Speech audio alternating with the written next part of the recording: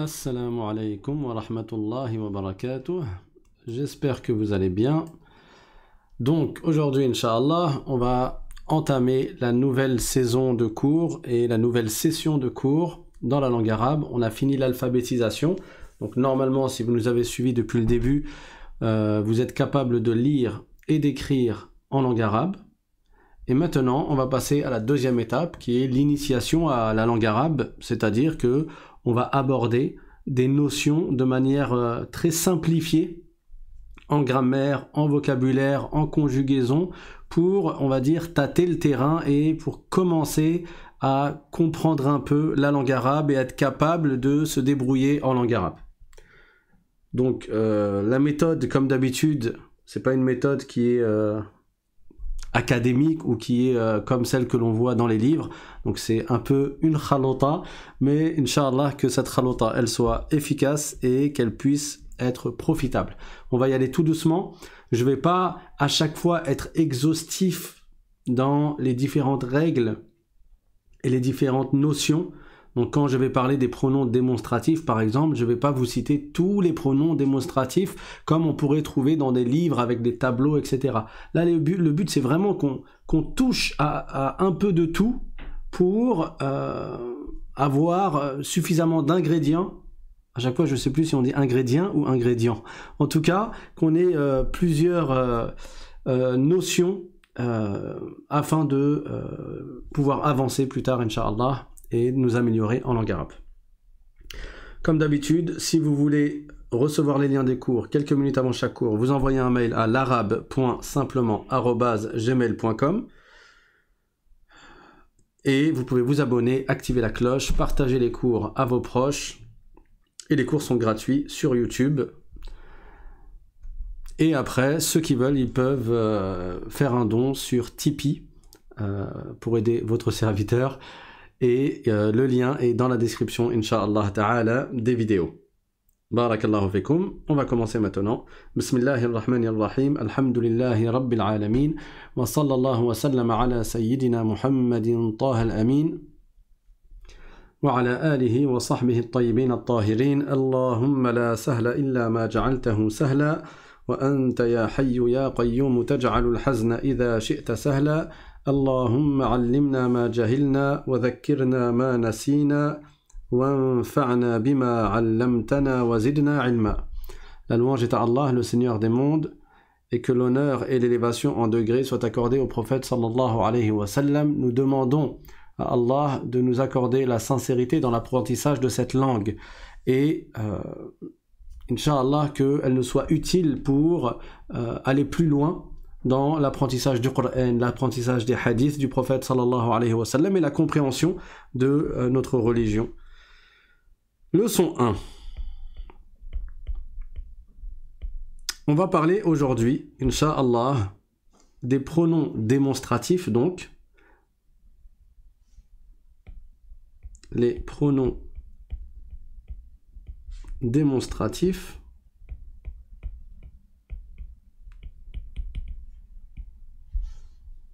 mais pas tous, uniquement deux qui sont هذا et هذه. Aujourd'hui, on va juste apprendre ça et quelques mots, bien entendu, avec. À chaque fois qu'on va apprendre une notion, on va essayer d'enrichir notre vocabulaire et le thème d'aujourd'hui sera le thème de la famille c'est un pronom démonstratif qui veut dire ceci ou bien cet, c'est-à-dire CET. Euh, et il est utilisé aussi bien pour désigner quelque chose qui est doté d'une raison, donc un être humain en l'occurrence, que pour désigner une chose qui n'est pas dotée d'une de raison comme un objet. Donc ce mot-là, ça y est maintenant, vous savez le lire, hein, je ne vais pas décortiquer les mots, vous savez que ça, je dis je ne vais pas le faire, mais je le fais. Euh, ça, c'est Al-Alif Al-Khinjariya. Donc, c'est une prolongation. Même si elle n'est pas écrite de cette façon-là, elle est indispensable. Il est euh, nécessaire de la prononcer. Donc, on va dire Hadha. Et ici, Hadhihi. Hadha pour le masculin. Hadhihi pour le féminin. Et les deux sont au singulier donc ceci et celle-ci ou bien celui-ci et celle-ci ou bien cette CET ou bien cette CE2TE e. et donc je disais tu peux utiliser ce mot-là quand tu veux citer ou quand tu veux désigner un objet et tu peux utiliser ce terme-là quand tu veux euh, désigner euh, un être étant doté d'une raison. Par exemple, je vais dire هذا كتاب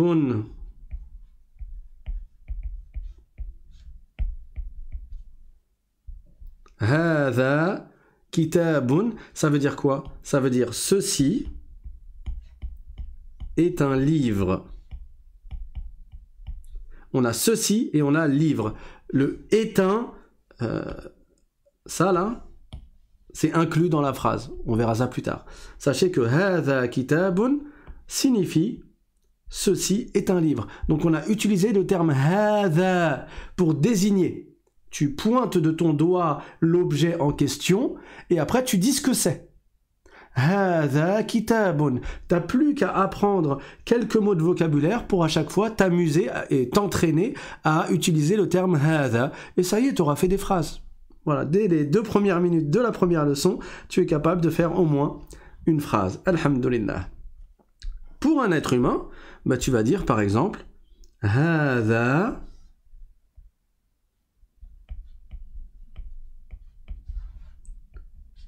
Rajulun. Rajul, c'est un homme.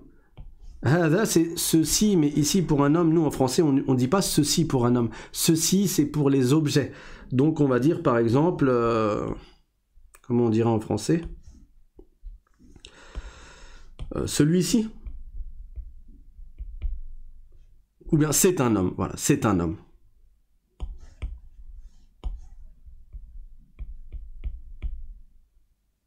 Mais c'est plus dans le sens celui-ci. C'est-à-dire ce que je te montre là. Mais ça se dit celui-ci est un homme en français? Ça fait bizarre. Je vous avais dit que c'était une chalota, hein. petite salade.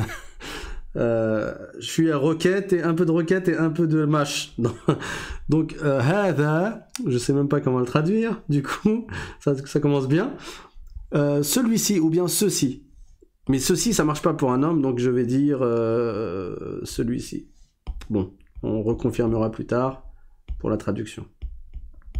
Zama, soi-disant, j'ai préparé, mon cours. Celui-ci est un homme. C'est bon pour tout le monde? Donc, je récapitule. Hada, c'est un pronom démonstratif utilisé pour le masculin aussi bien un objet qu'un être ayant une raison. Hada kitab, kitab c'est un objet, ça veut dire ceci est un livre, et hada rajul, euh, rajul c'est un être qui est doté de raison, bah, tu vas dire ceci ou bien celui-ci ou bien c'est un homme, il s'agit d'un homme. Ok? Pour le féminin, on va utiliser le terme vous écrivez en même temps. J'espère que vous avez votre cahier, niveau 2, et que vous écrivez en même temps que moi, et vous me dites si je vais trop vite. De toute manière, vous pourrez mettre pause à la réécoute du cours. Euh, parce que le cours est disponible en rediffusion sur la chaîne L'Arabe simplement, et vous pourrez mettre pause à chaque fois pour recopier le texte.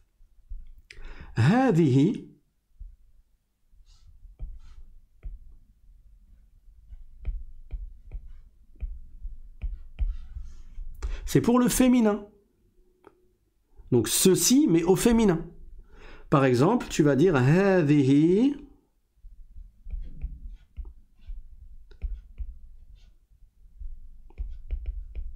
madrasatun madrasatun. Donc ceci est une école. هذه مدرسة ceci Hadi, c'est ceci. Et madrasatun, c'est école. Donc tu désignes et tu dis ceci est une école. Ok? Donc c'est un objet. Ça n'est pas doté de raison. Et pour ce qui est doté d'une raison, bah, tu peux dire par exemple Hadihi.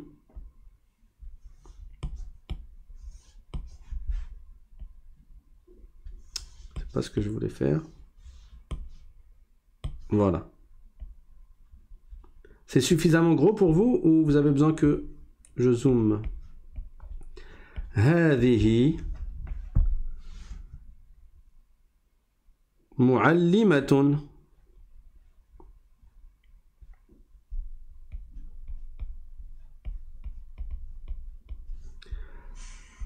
Donc, celle-ci,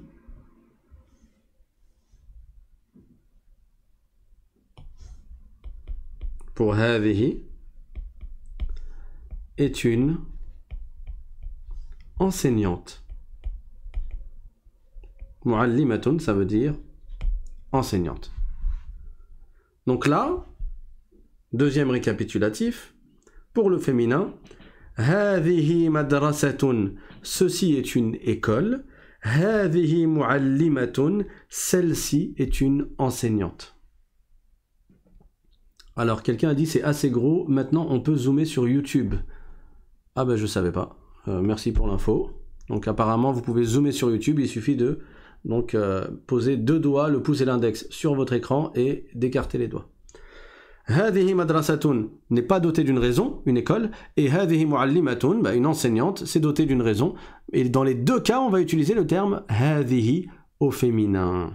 Très bien. Je vous ai donné des exemples comme ça, euh, au pif, on va dire. Vous pouvez dès à présent apprendre ces mots de vocabulaire.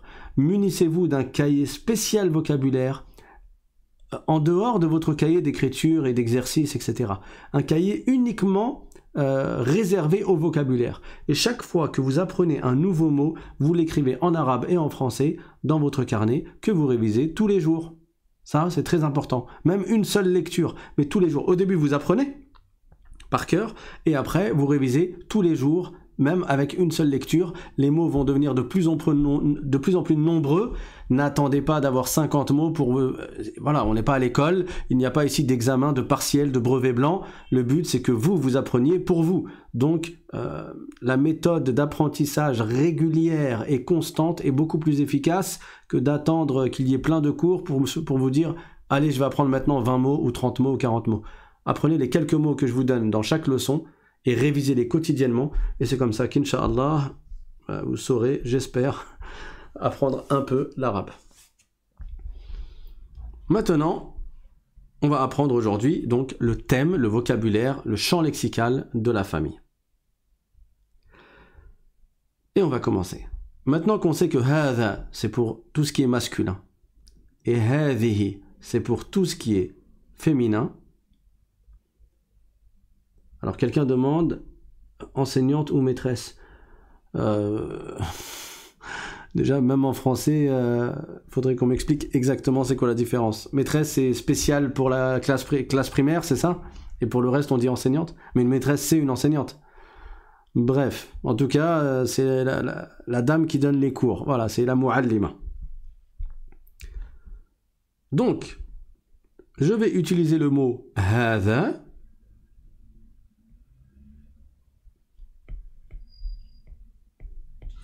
qui veut dire celui-ci pour un être humain, et je vais ajouter le mot.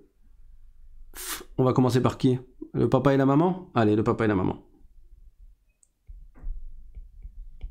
Abi.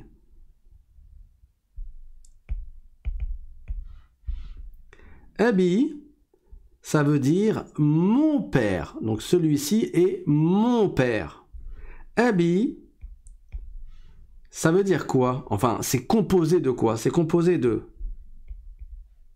Eb, qui veut dire papa, plus du ya, qui veut dire à moi. Donc, Ebun, c'est un papa, et après tu rajoutes le ya qui veut dire à moi. Comme il y a le ya, tu mets une kasra avant. Ça donne abi. Hada abi. Ça veut dire celui-ci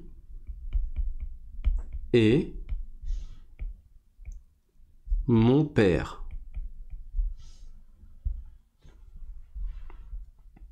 C'est bon pour tout le monde? Répétez après moi. Hada abi. Je ne vous lâcherai pas au niveau des prolongations. Indispensable. Je ne veux pas que vous soyez comme ceux qui parfois euh, parlent couramment la langue arabe et continuent à euh, délaisser complètement les prolongations. Il y a bien une distinction entre une voyelle courte et une voyelle longue dans la langue arabe. Hada, il faut prolonger. Abi, la première syllabe, elle n'était pas prolongée, c'était a, et la deuxième, elle était prolongée, c'était bi. Hada abi. Vous me faites pas un, un son monotone, hada abi, hada abi, de sorte à ce qu'il n'y ait aucune distinction entre voyelle courte et voyelle longue. Hada abi, ça veut dire celui-ci est mon père. Dans la même lignée, je vais dire la maman. Hadihi,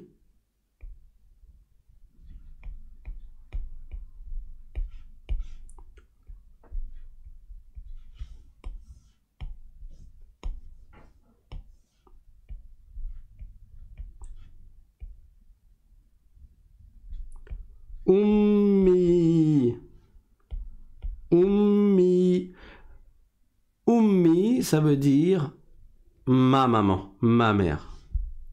Encore une fois, le but aujourd'hui n'est pas de citer de façon exhaustive toutes les façons d'utiliser le terme père avec tous les pronoms différents. Ton père, son père, mon père, leur père, c'est pas ça. Là, on veut juste commencer à tâtonner le terrain et à découvrir la langue arabe et à se rendre compte et à nous rendre compte que c'est trop facile la langue arabe et que c'est trop beau et que, masha'Allah, euh, en y allant petit à petit, on apprend plein de notions et il n'y a pas de difficulté. Que personne ne me dise c'est dur, c'est fastoche. Hadihi ummi, bah, ummi, ça vient de ummun, um, qui veut dire la mère, plus toujours le ya, le ya qui est un, euh, un pronom qui veut dire à moi. Et qui vient, c'est un suffixe en fait. Et il vient après le mot um. Donc c'est comme s'il y avait deux mots ici. Um et le ya tu les concoctes, tu les compactes et ça donne ummi. Alors pour ceux qui me parlent de abati, etc., on n'en est pas du tout là encore. Restez avec moi, barakallahu fikum, et ne perturbez pas les autres en posant des questions qui sont un peu plus trop poussées. Les gens vont avoir tendance à lire dans le chat et ils vont se, se perdre si vous donnez trop d'informations. Donc euh, restez au même niveau que nous, barakallahu fikum, même si pour l'instant vous maîtrisez ça, tranquille, il n'y a pas de problème, euh, mais de sorte à ne pas perturber les autres. C'est pour ça que je ne vais pas lire les questions à voix haute qui sont trop poussées par rapport euh, au niveau actuel. Là on a dit quoi? Le père, Abi, mon père, Abi, ma mère, Ummi. On passe à la suite. À chaque fois que je lis quelque chose, même si je ne le vous dis pas, vous lisez après moi à voix haute. Hein. Vous lisez après moi. Oui, oui, ça existe, il y a abati. C'est écrit dans le Coran. Il y a abati fa'al ma tu'mar. Mais c'est pas le sujet là. Donc ne nous, ne nous entrez pas dans des sujets dans lesquels nous ne sommes pas encore entrés. On passe à la suite, toujours. Je fais exprès encore une fois et je vous demande de le faire, de recopier à chaque fois hada. Vous me faites pas un tac tac tac tac tac tac pour dire c'est le même mot. Hein? Quand, vous faisait faire une punition dans le passé, écris 50 fois telle phrase, t'écris pas la phrase une seule fois et après tu mets des, des petits traits comme ça pour dire euh, c'est la même phrase. Non, non, tu dois la recopier à chaque fois. Là, c'est pareil. Le but, c'est que tu t'habitues et que tu maîtrises ces mots. Et donc, c'est très important de répéter aussi bien la lecture que l'écriture. هذا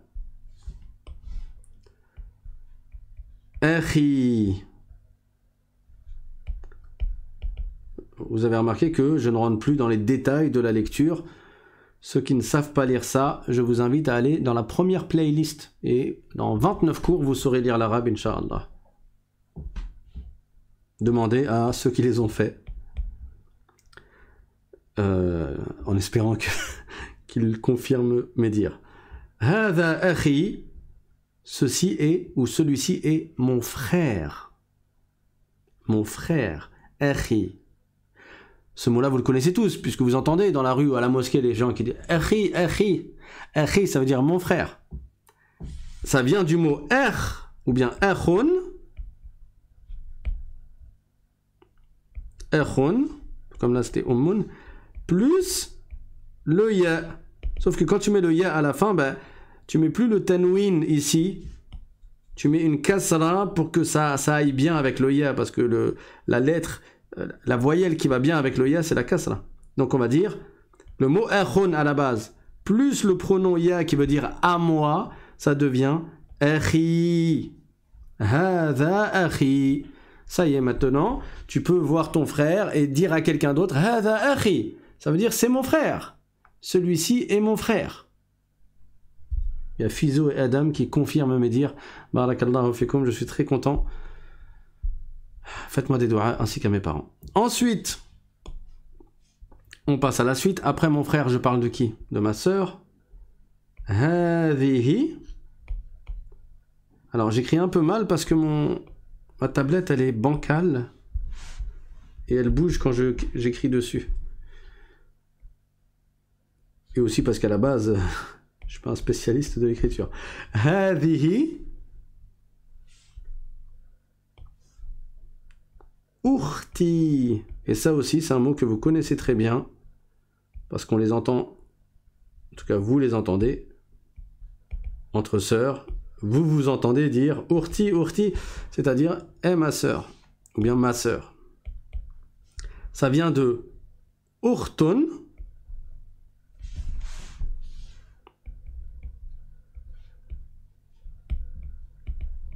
plus toujours le ya qui veut dire c'est à moi. Urtun, c'est la sœur. Et c'est une sœur, Urtun. Et avec le ya, ça veut dire ma sœur. Hadihi urti. D'accord?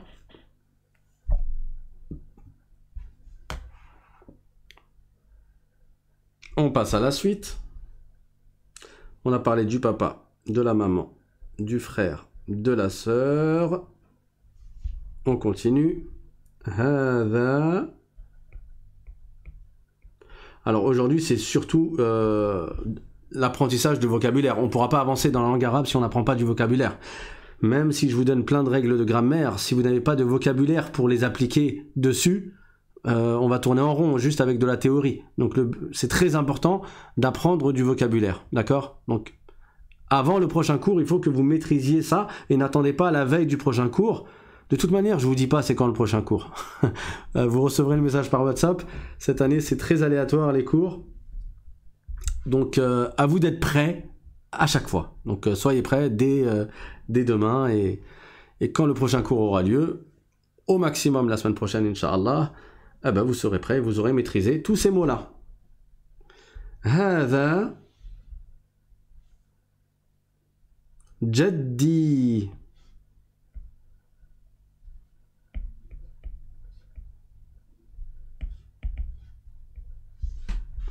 Jaddi, celui-ci est mon grand-père. Donc ça vient de je ne vous l'écris pas, vous le ferez à la maison. Maintenant, vous avez bien compris. Puisque le ya, il est à part tout seul, ben, vous n'avez plus qu'à le, décortiquer avec le mot de base qui est grand-père, qui est jed, plus le ya après qui veut dire à moi. Quelqu'un a dit pourquoi c'est pas tous les mercredis? Oui, j'essaye, mais c'est pas. Vous l'aurez remarqué hein, cette année. Euh, c'est quand je peux, c'est quand je peux. Inch'Allah que je, puisse, mais des fois euh, j'aurai des absences et des fois je rattraperai et donc ça sera pas forcément des mercredis. Dans tous les cas, vous vous abonnez, vous activez la cloche, vous vous envoyez un mail à l'arabe.simplement.gmail.com pour recevoir le lien par WhatsApp. Et voilà. هذا جدي. Ensuite, هذه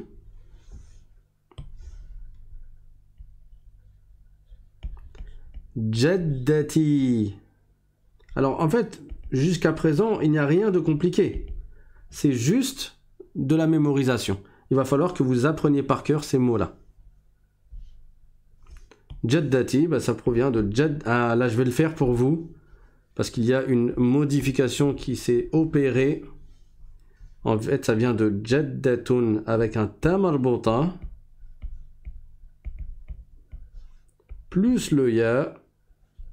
Sauf que, comme le tamarbota, comme on l'a déjà vu dans la session précédente, il est que en fin de mot. Alors comme là on ajoute une lettre après, qui est le ya, le ta marbota ne se retrouve plus en fin de mot. Donc il se transforme en ta normal, c'est-à-dire le ta mabsota, le ta ouvert.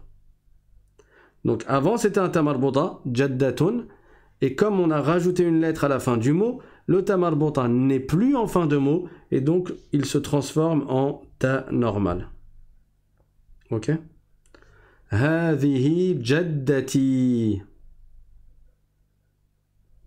On récapitule. On a vu. Hadha abi. Celui-ci est mon père. Ummi. Celle-ci est ma mère. Hadha akhi. Répète après moi. Peut-être je suis allé trop vite. Celui-ci est mon frère. Hadihi ukhti. Celle-ci est ma sœur. Hada jaddi. Celui-ci est mon grand-père. Hadihi jaddati. Celle-ci est ma grandmother, ma grand-mère. Encore un. Celui-là, il va être un peu plus technique. Est-ce que vous êtes prêts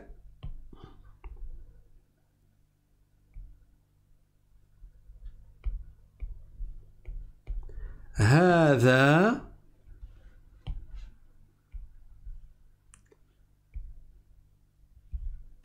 Ibni. Ah, là, ça va nous faire une petite révision de lecture. Comment Vous faites la liaison dans ce mot-là Hada Ibni. Comment on fait la liaison?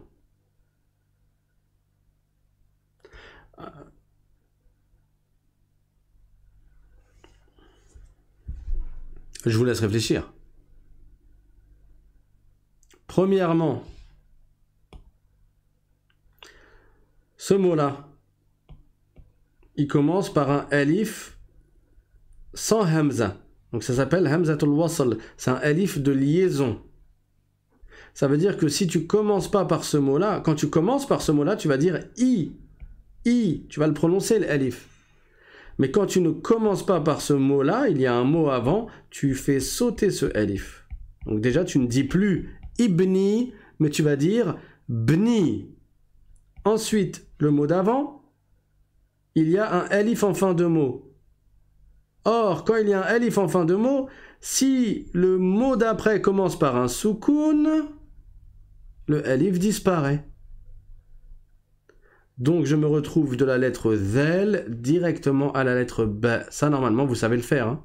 C'est une révision. Hadhabni. Tu dis pas hadhabni. Tu prolonges pas. Tu dis hadhabni. Hadhabni quand tu fais la liaison. Et tu dis pas hadha ibni parce qu'il n'y a pas de hamza ici.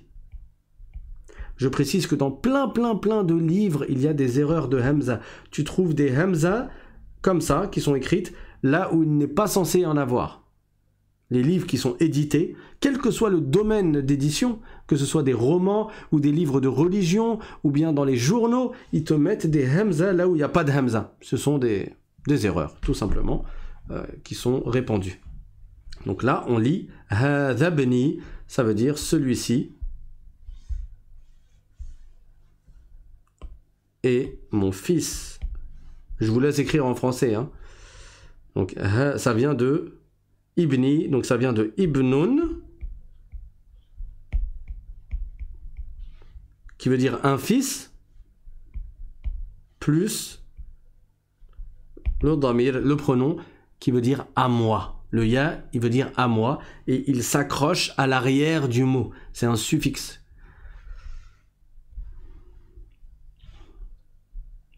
Pareil, on va passer à la fille. Pour un premier jour, ça vous fait pas mal de mots, mais bon, vous en connaissez déjà beaucoup. Abi, vous l'avez entendu plein de fois, j'imagine. Echi, pareil. Urti, pareil. Voilà, c'est pas très compliqué. Hein.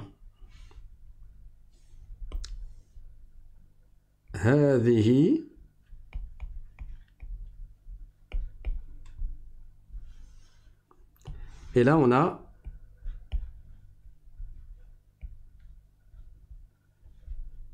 Ibnati.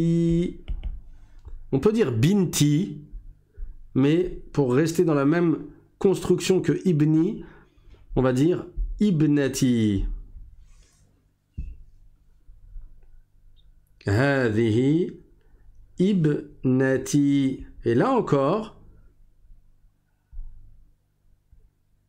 le alif ne va pas se prononcer dans la liaison. Pourquoi? Parce que c'est une hamza de liaison, il n'y a pas de vrai hamza ici, il n'y a pas de hamza to qata' et donc on va passer du ha directement au ba et on va dire ibnati, celle-ci est ma fille. Hadhi ibnati qui provient de ibnatun je répète, on peut dire bintun et binti. Mais on peut dire aussi ibnatun et ibnati. Et là, on va garder ça pour rester dans le même, euh, la même construction que ibni. C'est le féminin de ibni. De ibnun. Ibnatun plus le ya. Encore une fois, le tun ici, et c'est un terme marbota, mais comme euh, il n'est plus en fin de mot à cause du ya qui vient s'accrocher derrière, alors il est transformé en ta maftuha ou bien mabsota. هذه ابنتي répétez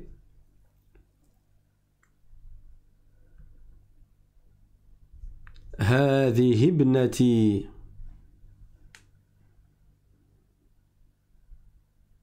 Ok. On récapitule on a Hada abi. Je l'ai mal écrit, hein. On refaire.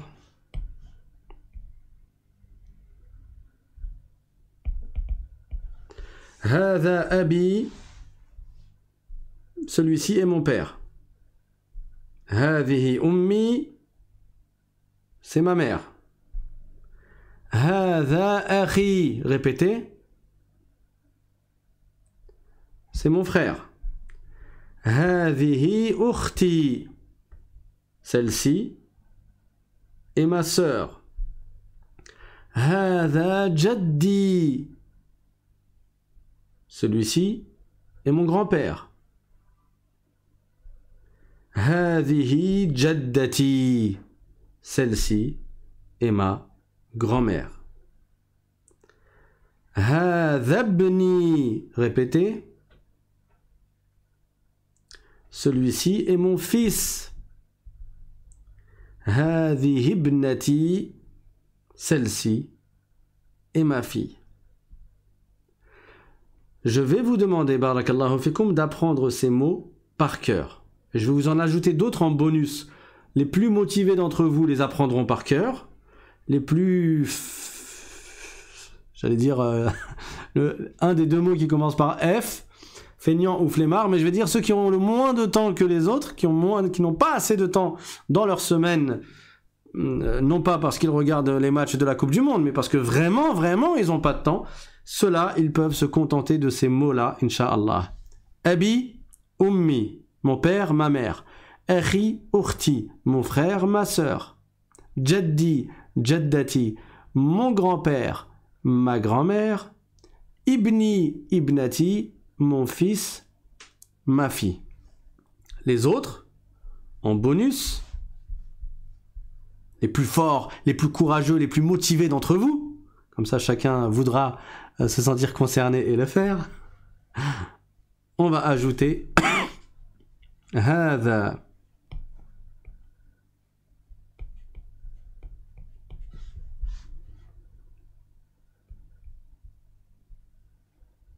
Ammi qui provient de Ammun plus le ya. Le am en arabe, et là faites bien attention, il y a une distinction avec le français. Le am, c'est l'oncle paternel. C'est l'oncle paternel. Donc celui-ci est mon oncle paternel. Ça veut dire c'est le frère de mon père. C'est pas n'importe quel oncle. C'est le frère de mon père, c'est pas le frère de ma mère. Et le féminin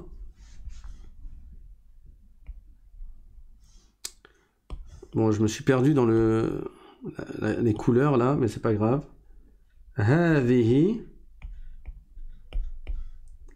عمتي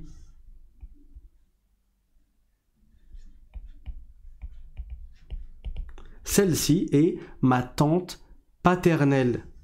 Et ça vient de Ammatun, féminin de Ammun. Hein, on rajoute un tamarbota par rapport à Ammun, vous avez compris ça.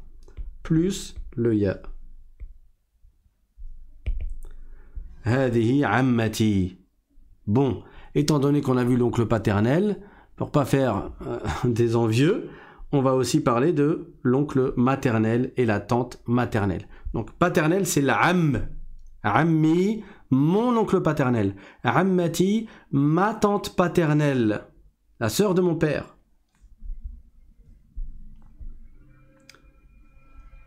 Ensuite, هذا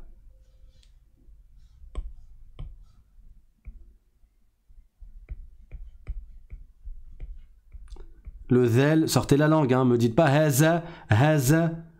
Corrigez-vous dès maintenant. Parce que j'en connais qui ont fait des années et des années d'études d'arabe et ils continuent à dire haza, haza, hazihi. Donc c'est dès le début que tu dois euh, arranger et corriger ta prononciation. Et si tu as besoin d'aller voir un enseignant de tajwid, tu vas voir un enseignant de tajwid qui va corriger ta prononciation. Comme le the en anglais. T-E-H. The End à la fin des dessins animés, là. Vous vous rappelez? De. Le chat et la souris et tout ça. The End. The. C'est ça le son. Le son The. Hada. C'est pas Haza. Avec un Z. Hada. Khali.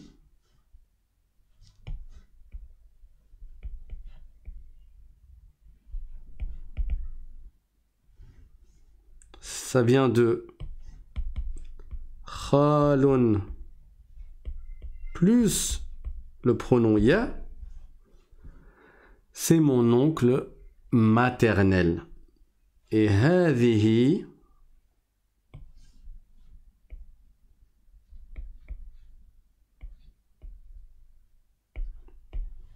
khalati,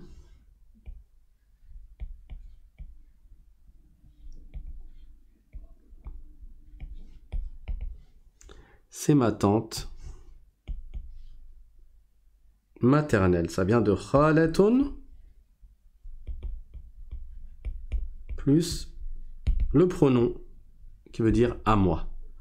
Donc les quatre euh, bonus que seuls les plus motivés d'entre vous apprendront sont Ammi, mon oncle paternel, Ammati, ma tante paternelle, Khali, mon oncle maternel, khalati, ma tante maternelle. Voilà les mots que je souhaitais vous, euh, dont je souhaiter vous faire part. Pour aujourd'hui, on va faire un récapitulatif des mots tout seuls, donc des mots à apprendre dans le vocabulaire. Dans votre euh, cahier de vocabulaire, vous n'allez pas mettre Ammi, Khalati, Khali, Jaddi, etc. Parce que ça, c'est un composé de deux mots, comme vous avez pu le voir. On va garder juste les mots de base. Donc, Abun.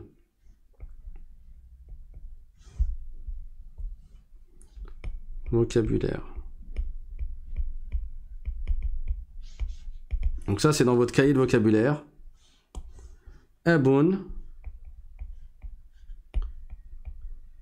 Alors là, j'étais tenté de vous écrire la traduction. Mais une idée m'est survenue soudainement. Je ne vais pas mettre la traduction. Comme ça, vous allez le faire tout seul après le cours, tout simplement. Et plus vous attendez pour le faire, et moins vous allez vous rappeler des différentes significations. Donc la meilleure façon de maîtriser les informations, c'est de faire votre première c'est de faire votre première révision euh, juste après le cours. C'est très important. Ou euh, pas longtemps après le cours. Parce que les idées, elles sont encore fraîches dans votre tête. D'accord? Donc on a abon. Et là, vous allez mettre euh, égal ou bien vous mettez une flèche. À vous de voir hein, comment vous voulez organiser votre cahier de vocabulaire. Abon. Et là, vous mettez la traduction en français. Ensuite, on a Ummun. Super mal écrit. On va le refaire. On va dézoomer un peu. Ummun.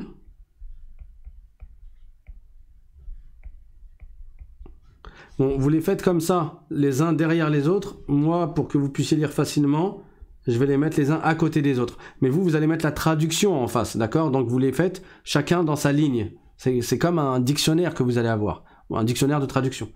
Ummun.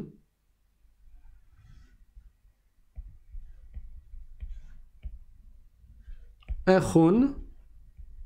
Alors évidemment, quand un mot est tout seul, on lui met une damma de, base par... Euh, on lui attribue la damma comme ça. Euh, et donc deux damma euh, quand il y a besoin. On va pas mettre de fatha ni de kasra. Mais après, ça, ça va changer en fonction de la place du mot dans la phrase. Et c'est la grammaire qui va nous apprendre à savoir quand est-ce qu'on met une dhamma à la fin, quand est-ce qu'on met une fatha, quand est-ce qu'on met une kasra. Mais là, en l'occurrence, comme les mots ils sont isolés, on leur met toujours une dhamma, on leur attribue la dhamma. Parce que là, les mots ne sont pas concernés par les règles grammaticales, puisqu'ils ne sont pas dans une phrase. ensuite, urtun,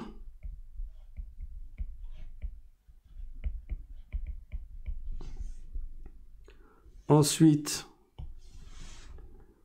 Jeddon. C'est ça qu'on avait vu en premier. Euh... Ouais. Jeddon. Ensuite, Jaddatun.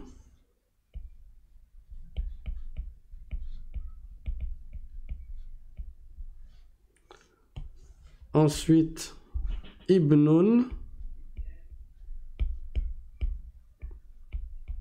Ne mettez pas le devant. Parce qu'il n'y a pas d'article défini devant ces mots. Quand vous allez traduire, par exemple, Ebon, vous ne mettez pas le père. Vous mettez euh, père ou bien un père. UN espace P E accent grave R E. Parce que il n'y a pas de eliflem ici dans ces mots-là. Le eliflem, c'est l'article défini qui, donne en français le, la ou les ou l.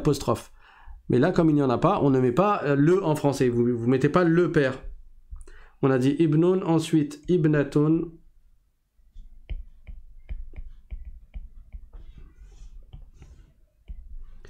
Ensuite, ammun.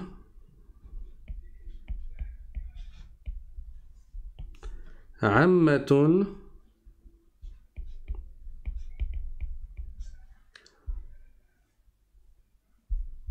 Vous garder la page quand même.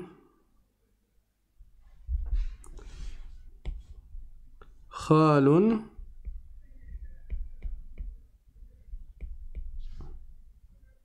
Et Khalatun.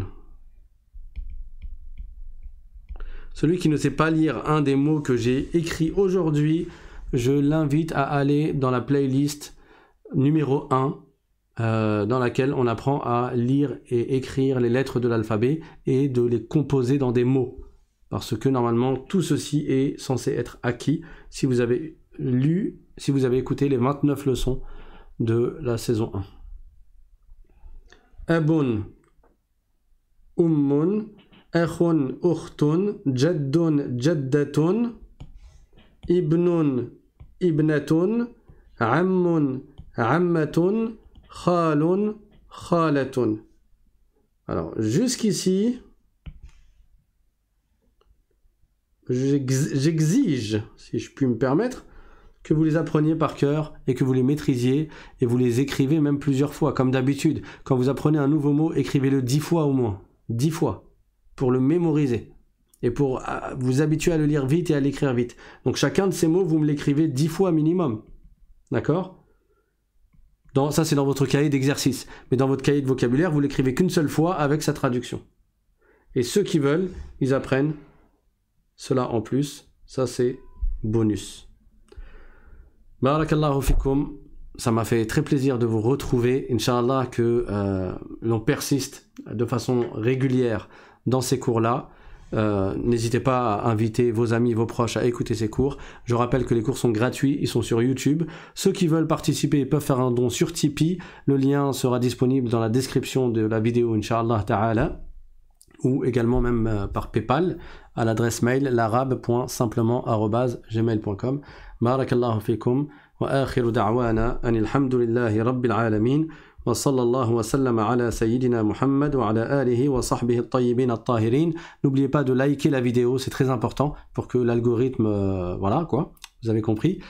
Et je vous dis peut-être à mercredi prochain, peut-être avant mercredi prochain.